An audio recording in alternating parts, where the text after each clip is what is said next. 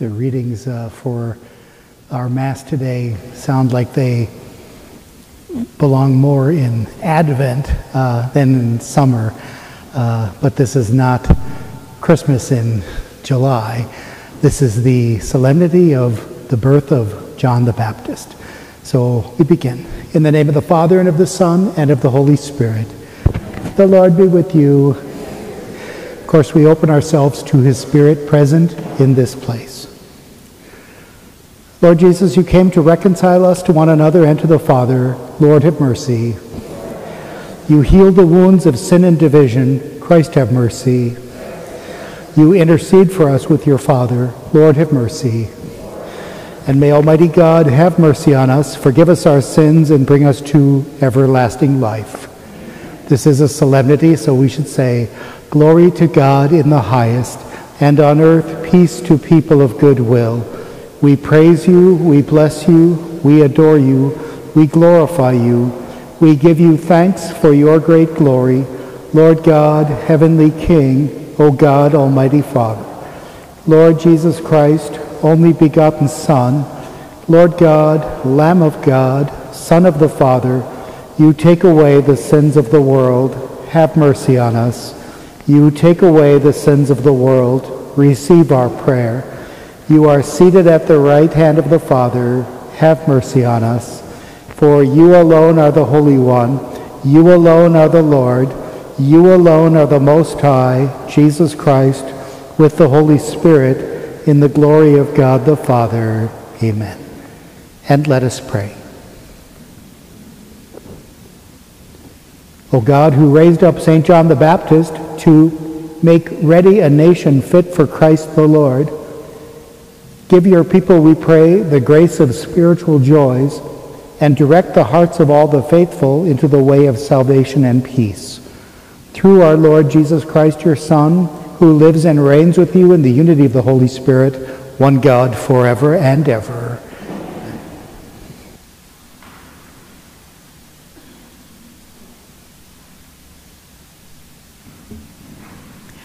A reading from the book of the prophet Isaiah.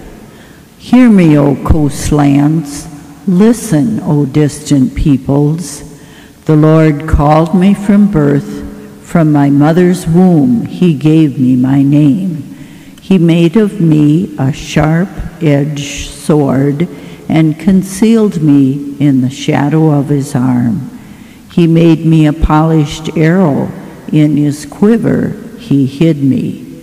You are my servant he said to me, Israel, through whom I show my glory. Though I thought I had toiled in vain and for nothing, uselessly spent my strength, yet my reward is with the Lord. My recompense is with my God. For now the Lord has spoken, who formed me as his servant from the womb that Jacob may be brought back to him and Israel gathered to him. And I am made glorious in the sight of the Lord, and my God is now my strength. It is too little, he says, for you to be my servant, to raise up the tribes of Jacob and restore the survivors of Israel. I will make you a light to the nations that my salvation may reach to the ends of the earth. The word of the Lord. I praise you, for I am wonderfully made. O Lord, you have probed me and you know me. You know when I sit and when I stand. You understand my thoughts from afar, my journeys and my rest you scrutinize. With all my ways you are familiar. I praise you, for I am wonderfully made. Truly, you have formed my inmost being. You knit me in my mother's womb. I give you thanks that I am fearfully, wonderfully made. Wonderful are your works. I praise you, for I am wonderfully made. My soul also you knew full well, nor was my frame unknown to you when I was made in secret, when I was fashioned in the depths of the earth. I praise you, for I am wonderfully made. A reading from the Acts of the Apostles.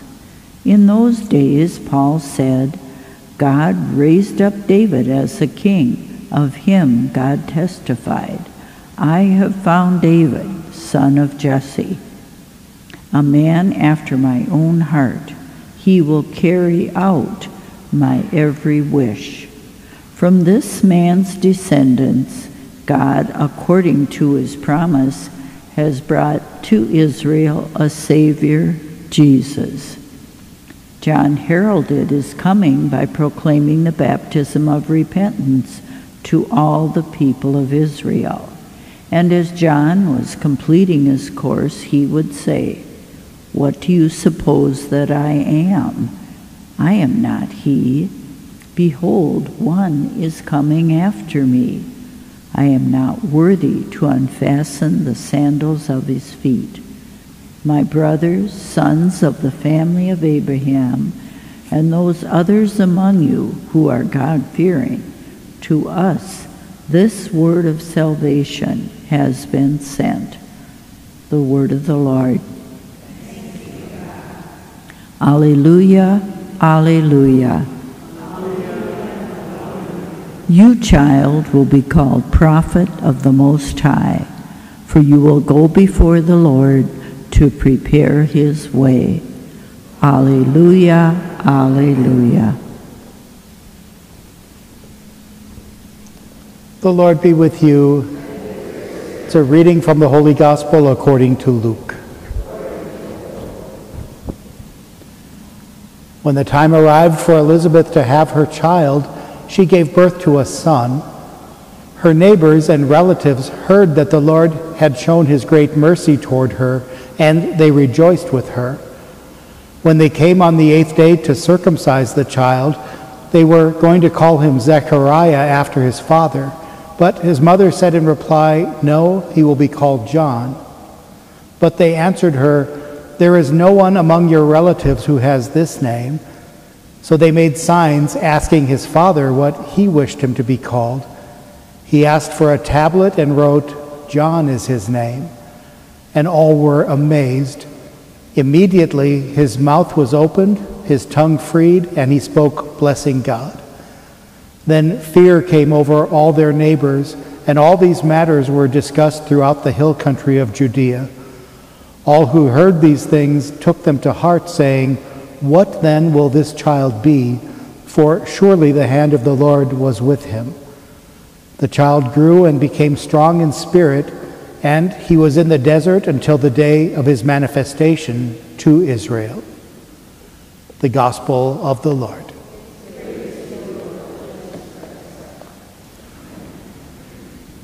This uh, feast has been on the liturgical calendar uh, in Rome and in Constantinople since at least the fourth century. Uh, St. Augustine was the first to uh, recognize the, that the, the placing of the feast is perfect.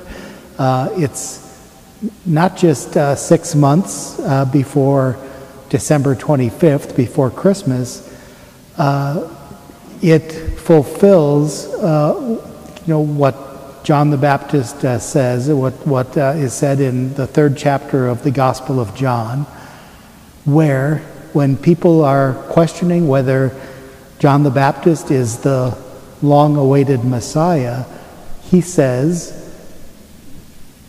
he must increase while I must decrease. And the summer solstice just took place uh, within a day or two. From now on, the days get shorter. Uh, the winter solstice, on the other hand, right around Christmas time, within a day or two, the days get longer. And so, even the, the turning of the liturgical calendar finds an echo in the, the turning of the cosmos, you might say. Uh, so even, even the sun and the stars uh, uh, match the, the prophecies. John the Baptist is seen as the, the last and the greatest of the prophets because he did really what every Christian uh, should do. He pointed to Christ. He wasn't in competition. Uh, you know, after a while, uh, Jesus was starting to attract bigger crowds than John the Baptist, who had big crowds at first. But John never expressed uh, any kind of jealousy about that. In fact, he seems to have realized that his life, uh, his mission, has been fulfilled.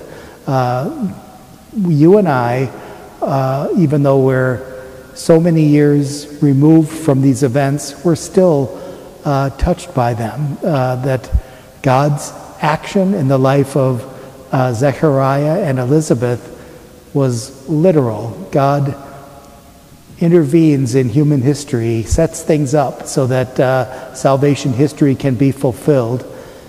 This is the God that also has arranged that people like us have minds and hearts that are open to the experience of encountering God, to be transformed by it.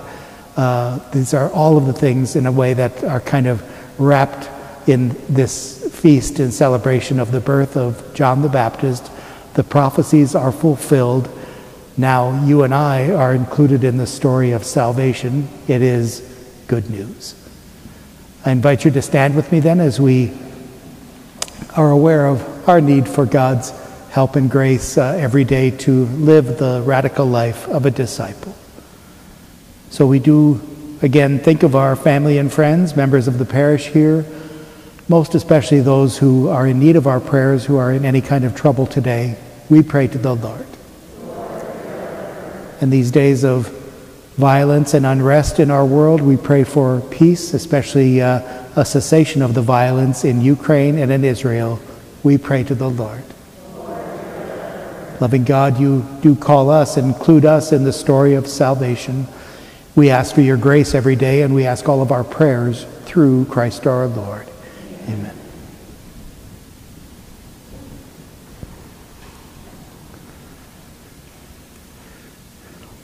Blessed are you, Lord, God of all creation, for through your goodness we have received the bread we offer you, fruit of the earth and work of human hands. It'll become for us the bread of life.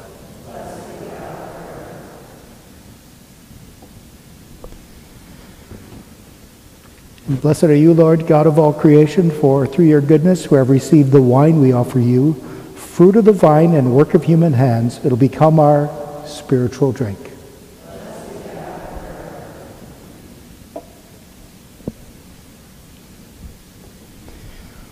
Pray, my friends, that my sacrifice and yours may be acceptable to Almighty God.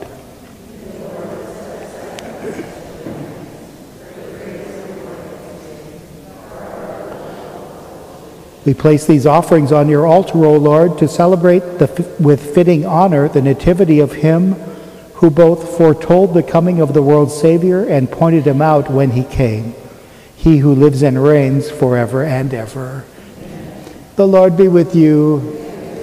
Lift up your hearts. Let us give thanks to the Lord our God. It is truly right and just, our duty and our salvation, always and everywhere, to give you thanks Lord, Holy Father, Almighty and Eternal God, through Christ our Lord. In his precursor, St. John the Baptist, we praise your great glory, for you consecrated him with a singular honor among those born of women. His birth brought great rejoicing. Even in the womb, he leapt for joy at the coming of human salvation. He alone of all the prophets pointed out the Lamb of redemption. And to make holy the flowing of waters, he baptized the very author of baptism and was privileged to bear him supreme witness by the shedding of his blood. And so, with the powers of heaven, we worship you constantly on earth, and before your majesty without end, we acclaim Holy, holy, holy Lord, God of hosts, heaven and earth are full of your glory. Hosanna in the highest. Blessed is he who comes in the name of the Lord. Hosanna in the highest. You are indeed holy, O Lord, the fount of all holiness. Make holy, therefore, these gifts, we pray, by sending down your Spirit upon them. They may become for us the body and blood of our Lord Jesus Christ. At the time he was betrayed and entered willingly into his passion, he took bread and giving thanks broke it and gave it to his disciples, saying, Take this, all of you, and eat of it, for this is my body, which will be given up for you.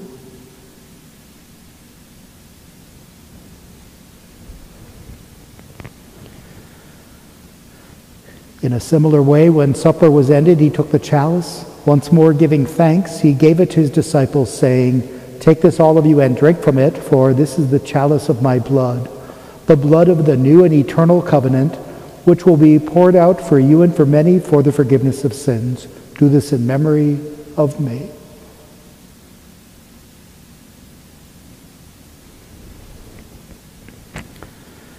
The mystery of faith. When we eat this bread and drink this cup, we proclaim your death, O Lord, until you come again. Therefore, as we celebrate the memorial of his death and resurrection, we offer you, Lord, the bread of life and the chalice of salvation, giving thanks that you've held us worthy to be in your presence and minister to you. Humbly we pray that, partaking of the body and blood of Christ, we may be gathered into one by the Holy Spirit. Remember, Lord, your church spread throughout the world and bring her to the fullness of charity, together with Francis, our Pope, Bernard, our Bishop, and all the clergy. Remember also our brothers and sisters who have fallen asleep in the hope of the resurrection, and all who've died in your mercy. Welcome them into the light of your face. Have mercy on us all, we pray that with the Blessed Virgin Mary, the Mother of God, with Blessed Joseph, her spouse, with the blessed apostles, and all the saints who have pleased you throughout the ages, we may merit to be co heirs to eternal life and may praise and glorify you through your Son, Jesus Christ. Through him and with him and in him, O God Almighty Father, in the unity of the Holy Spirit, all glory and honor is yours forever and ever. Amen. The peace of the Lord be with you always. Let's offer one another then some sign of God's peace.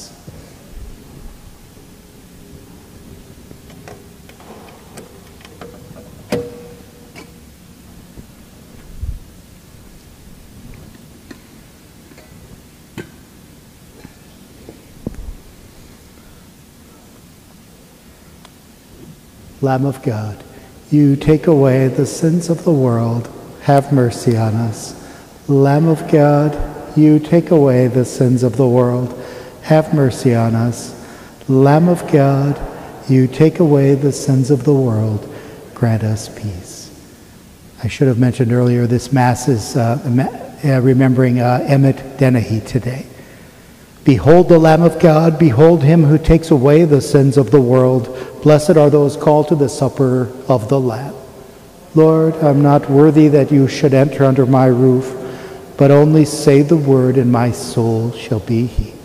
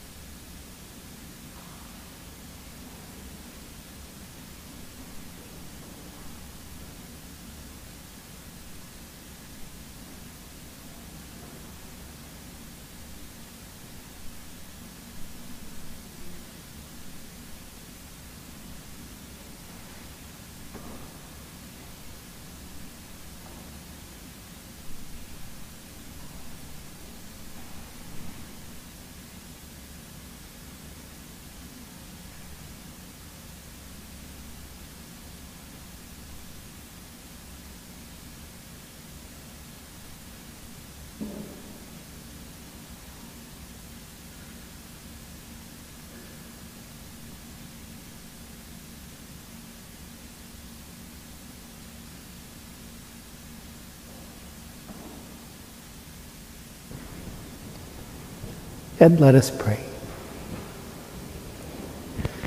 Having feasted at the banquet of the heavenly Lamb, we pray, O Lord, that finding joy in the nativity of St. John the Baptist, your church may know as the author of her rebirth the Christ whose coming John foretold, he who lives and reigns forever and ever. The Lord be with you. Almighty God bless you today, the Father, the Son, and the Holy Spirit. Our Mass is ended. Let us go in peace. Thanks be to God.